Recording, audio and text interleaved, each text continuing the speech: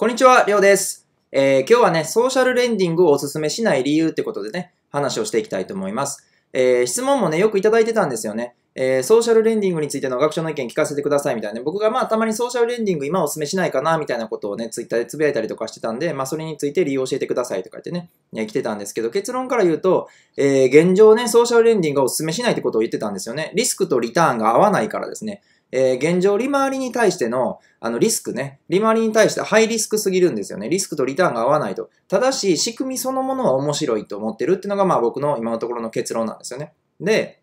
えーソーシャルレンディングは何ぞやってことで、えーちょっと話をしていきたいんですけど、まあ、融資の新しい形というかね、あの、企業が何かをするには通常お金が必要でしょ。で、今までだったら、えー銀行がまあ融資してたわけですよね。銀行が中小企業に対してまあ融資をしてたと。もしくはまあ個人投資家とかがね、えー一人一人がまあ中小企業とか、まあいろんな企業に投資をしてたと。ただまあこの形だったら投資家にとってまあリスクが高いんですよね。金額が大きくなっちゃった企業が必要なお金っていうのを個人で負担するっていうのは金額が大きくなるんでね。もしくは投資先の企業とかのまあ審査とかがね大変だったりとか、まあちょっとなかなか難しかったんですね。で、そこを解決するのに、えーソーシャルレンディングっていうのがまあ結構増えてきて、えー結構アメリカとかは特に伸びてるんですけどね。えー個人投資家 ABC みたいなね、えーたくさん個人が集まって、えー小口、小口で投資しようってことですね。このソーシャルレンディング事業者っていうね、まあ仲介業者が入ることによって、えー中小企業ね、えーここに、えーみんなで少しずつまあ投資しようみたいなね、えー形なんですね。で、こうすると何がいいかっていうことなんですけど、えーメリットね、メリットとしては貸す側、投資家、皆さんはまあお金を貸す側になるわけですよね。えー投資をするということはお金をまあ貸す側になるわけなんですけど、今回だったら貸す側の皆さんにとってみると、小さい金額から投資できるんですよね。複数の人数で投資するんで、中小企業が仮に1億円必要だとして、1人で負担するのってまあ大変ですよね。それが、え1万円ずつ、まあ例えば1000人とか、まあ1万人とかね、えー集まると大きな金額になると。なんで一人一人は小さい金額から投資できるんで、複数の企業に一社だけじゃなくて複数の企業に投資できたりとかリスク分散になりますよね。で、小さい金額からも投資できる。1万円から出し合うということですね。みんなで出し合うんで。えーそれから、利回りが高いものが多いんですよね。この中小企業に対して貸すんですけど、なぜ利回りが高いものが多いかってことなんですけどね。ここに惹かれる人が多いんで、えー利回りが高いものが多いんですけど、この辺はまあ後で解説していきますね。で、手間がかからないと。この仲介業者が審査をしてくれるんで、まあ、手間がかからないわけですね。自分で、えー一つ一つその企業の審査をしなくても、えーちゃんと審査をしてくれた、えー仲介業者が出してる案件なんで安心っていう、まあ一応そういうことですね。まあいろいろな商品があるってことで。で、借りる側の中小企業にとって、じゃあこのソーシャルレンディングっていう仕組みは何が、えメリットがあるのかっていうと、えー銀行よりもね、えー柔軟な融資審査と、銀行っていうのは実際企業の社長さんとか、えー銀行から借りようとしたことがある人だったらわかると思うんですけど、銀行とかっていうのはなかなかこう借りるのに時間がかかったりとか、やっぱりね、あの、何かと新しいものに対しては、なかなかお金を出してくれなかったりとか、まあ、もしくはまだまだ、あの、企業、創立して間もない会社ね、できて間もない会社とかに対してなかなか、えーお金を貸してくれなかったりとか、このもう少し大きなお金さえあれば、もっとこうすれば、もっとこうして大きくできるのにな、スピードアップできるのになって時とかでも、銀行とかだったら何かとこう動きが遅かったりとかね。まあ、不動産とか分かりやすいものには結構お金貸してくれるんですけど、えーそれ以外の案件の時とか、ちょっとね、信用がついてくるまでしんどいんですよね。えーなんで、そういうこともあって、こういう、えーソーシャル、少し高い金利を払ってでも、えーお金を借りたいっていうね、中小企業とか結構いたりとかするんですよね。えーで、えーそういう意味ではすぐ借りれるんで、借りる側にとってもメリットがあると柔軟なんですね。えーで、デメリットとしては、えー貸す側ね、投資家皆さんの場合なんですけど、貸す側にはデメリットが、えーいろいろあって、ここがまあソーシャルレンディングのまだまだ難しいところなんですけど、まずこの1、2、3ってあって、1が融資先の貸し倒れですよね。まあ順番に行きますね。融資先の貸し倒れや、えー返済が遅延するリスクですよね。要は融資先の企業が潰れちゃうっていうことがあるわけですね。これはまあお金を貸す以上、こういうことが人でも会社でも当然あるんですけど、お金を貸す以上、上場してる会社とか、もう創業何百年とかいう企業とかじゃないんで、ね、全然潰れる可能性がすごく高いんですよね。まあ外縁に銀行貸してくれないんで利回りが高いんですけど。えそれから、このソーシャルレンディングの仕組みで、匿名化されてて融資先がね、わからないんですよ。これなかなか変な話だと思うでしょ。自分がお金を貸すのに、その融資先がわからないんですよ。具体的に何ていう会社に貸すのかっていうのがね、わからないんですよ。で、これはどうしてかっていうと、法律が関係あってね、えー貸金業法っていうのがあって、あの、要はお金の貸し付けを事業として行うには登録が必要なんですね。えーそういう事業者との登録が必要だと。で、融資先と投資家、だから皆さんも、えー、そうだし、融資先の企業とか、えー、皆さんの名前とかね、融資先の企業っていうのが公表されてしまってると、実質の貸金業者でしょってなっちゃうんですよ。実質貸金業者に触れちゃうと。ということは、実質貸金業者になっちゃうでしょっていうことなんですね。法律に触れちゃうと。だから、どうやって回避しようってなった時に、この、えー、融資先の匿名化なんですね。えー、要はお互いの情報がわからないと、えー、誰が借り、えー、誰から借りてるか、誰に貸してるか、具体的にはわからないと。そういう状態にすることによって、この貸金業法をまあ回避するんですよね。で、えー、投資、普通だったらまあ投資家から投資家が直接企業にお金を貸してね、えー、貸金業をしちゃったらダメなんですよね。ちゃんと登録が必要なんですけど、お互いをこの匿名化することによって、この間に一社ね、ソーシャルレンディングの会社が入って、えー、お互いを匿名化することで、まあそこを回避しましょうってことなんですけどね。で、えー、結局運用会社の能力に委ねることになっちゃうんですよね。あの、融資先の企業の審査とかね。まあ普通は確かにここが難しいデメリットであったんですけど、直接貸す場合はね。えー、このソーシャルレンディングの会社が審査してくれる、大丈夫な、貸しても大丈夫な企業なのか事業なのかっていうのを審査してくれるから大丈夫だっていうのが、このソーシャルレンディングのメリットなんですけど、デメリットにもなるんですよね。ここのソーシャルレンディングの会社が、あの、審査能力がない場合に、えー、結局意味がないというか、デメリットにもなり得るんですよね。だから、ここにかなり委ねることになっちゃうんですよね。ましてや、融資先の会社がどんな会社かもわからないんで、ほとんど、このソーシャルレンディングの会社に委ねることに、え、なってしまうってことですよね。え、それから、運用会社自身のリスク。まあ、このソーシャル、間に入ってるソーシャルレンディングの会社自身のリスクですよね。この2番の今話した匿名化されてて融資先がわからないっていうね、2番のその法律のところに関係してて、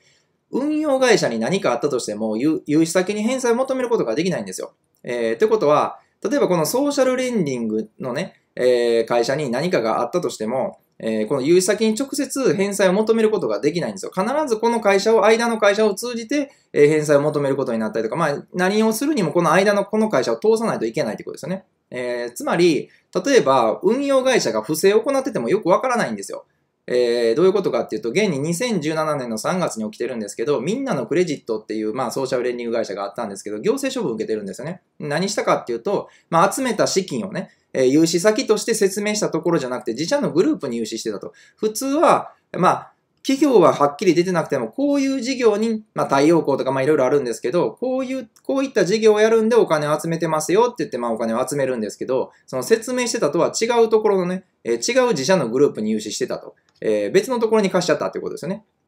で、えー、証券取引等監視委員会っていうのが、まあ、行政処分勧告をしたんですけどね。えー、こういうことをされてたとしてもわからないんですよね。えー、要は不正が起こりやすい仕組みだと。えー、で、まあ、その辺が貸す側のデメリットになってくるかなと。で、まあ、借りる側ね、中小企業側の借りる側のデメリットとしては、とにかく金利ですね、銀行よりも高い金利を払う必要があるんですね。えー、投資家にとって魅力的な利回りにしないとお金が当然集まらないですよね。もし、ましてや銀行から借りづらい案件なんで、えー、お金がなかなか集まらない。高い利回りにしないと、えー、お金が集まらないと。プラス加えてソーシャルレンディングのこの会社ね、仲介会社にも、えー、手数料を支払わないといけないんで、とにかく高い金利を支払わないといけないと。それだけ高い金利を、え、払うっていうのは、やっぱりそれだけね、貸し倒れのリスクが出てきますよね。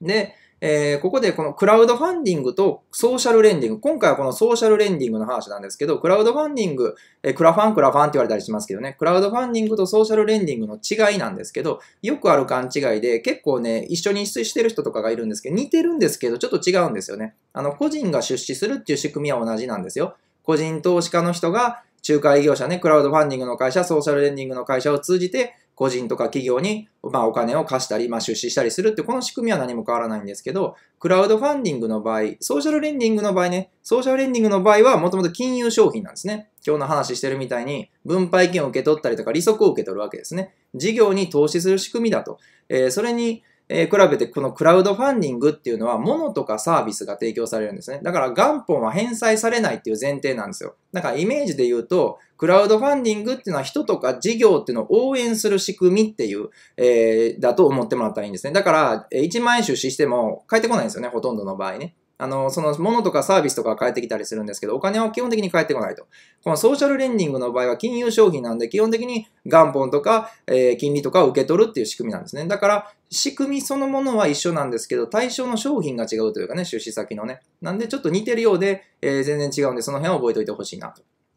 で、ソーシャルレンディングっていうのは利回りは高いんですけど、やっぱりそれだけリスクも高いんですよね。すごく良くないニュースも多くて、あの、現状はまだ環境が整ってないなと思ったんで、ソーシャルレンディングはお勧めしないっていうふうにずっと伝えてきたんですよね。で、えー、最近のニュースがあったわけですよね。えー、このニュースの概要なんですけど、ちょうど直近ですけどね、ソーシャルレンディング投資家が仲介会社を提訴へって言ってね、NHK ニュースでやってたんですけど、えー、このニュースですね、え、やってたんですけど、まあどういうことかっていうのを解説していきますね。えー、ソーシャルレンディング、えレンディング最大手のマネオっていうさっきの仲介業者のところにいた間に立ってた会社ですけどね、えー、ソーシャルレンディング最大手の最大手の、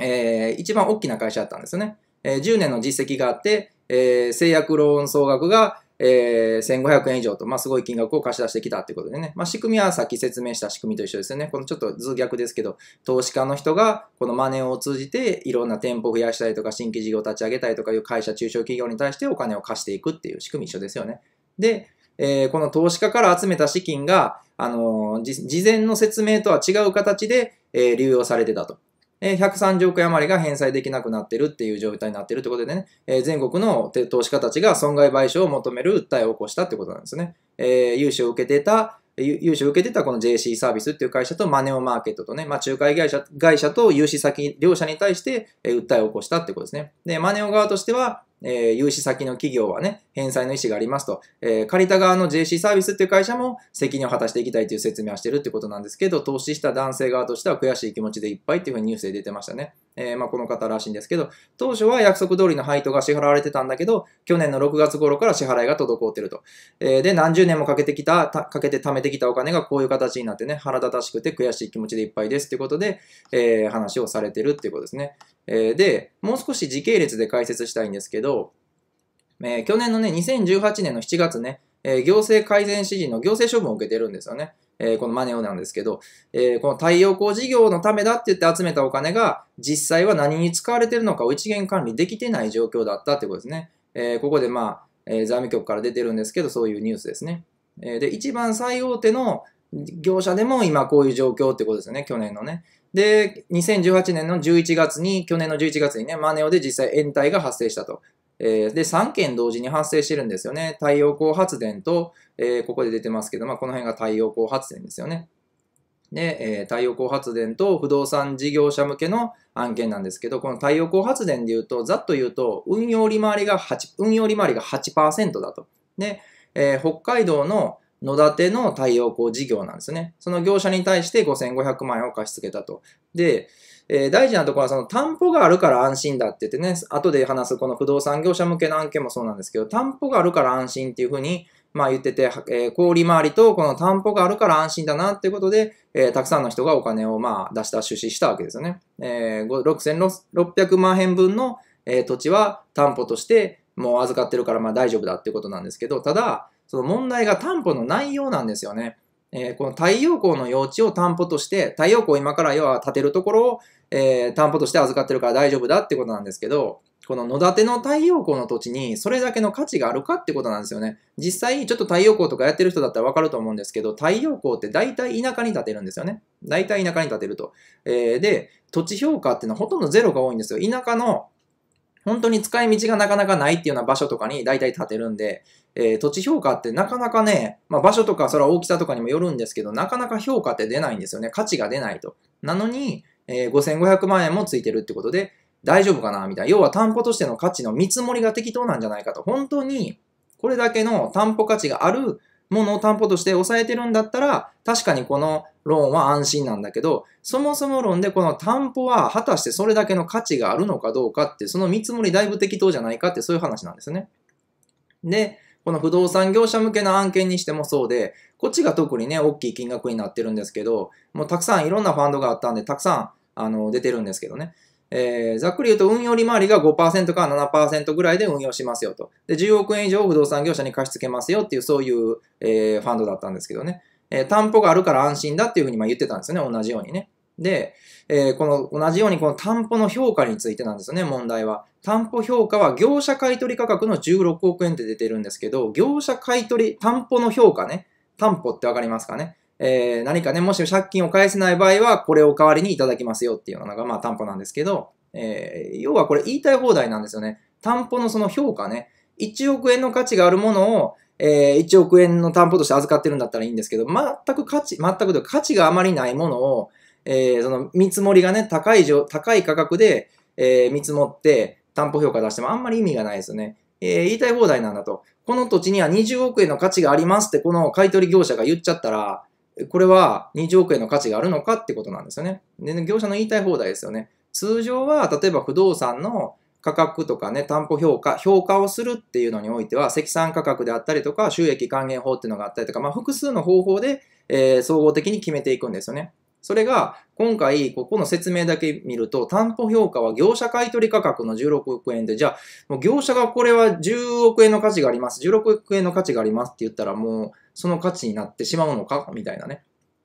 それからもう一つ問題は、ちょっとね、難しい話かもしれないんですけど、融資はノンリコースローンで、え、貸してると。え、これね、ノンリコースローンっていうと、まあ、あんまりこうわからないという人はもう聞き流しといてもらったらいいんですけど、ノンリコースローンっていうのは担保さえ売却したら借金はチャラっていう契約なんですよね。例えば、皆さんが1億円でビル1つ買ったとしますよね。1億円でビルを1個買ったとすると。で、ノンリコースローンで借り入れをしたと。えー、で、途中で借金が返済できなくなったとするでしょ？まあ何年経ったかわからないですけど、まだ8000万円負債が残ってると。えー、じゃあ、お金が返せなくなっちゃったと途中で。じゃあ、このビルを売りましょうってなるわけですよね。じゃあ、このビルを売ったのはいいんだけど、えー、買った時より価格が下がってて5000万円の価値になってしまったと。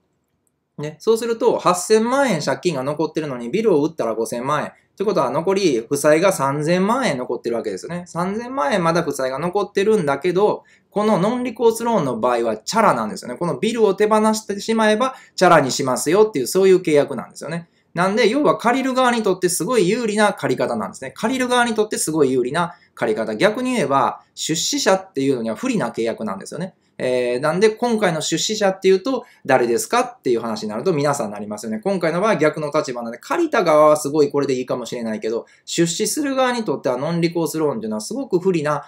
融資なんですよね。っていうような状態だったってことですね。で、え、今年のまあ今月ですね、2019年の3月にマネオと融資先の企業に対して投資家が集団で提訴したっていうことで、えー、冒頭のニュースになったんですよね。えー、ということで、まあ、まとめていきたいんですけど、ソーシャルレンディングは、え、最初に話したように現状お勧めしないですよと。土壌が整ってないんですね。リスクとリターンが合わないと。不正が起こりやすい仕組みになってて、透明化が進んでないんですよ。だから、せめてそのお金を貸すときにおいて、あの、融資先の企業とかがちゃんとはっきりと、わかどんな会社に貸すかって分かってたら投資家も調べれたりとかね、いろんなことができるんですけど、今はやっぱり不正がどうしても起こりやすいと、仲介に入ってる業者も情報があの見えないんで、何でもやっぱり悪いこともできてしまうし、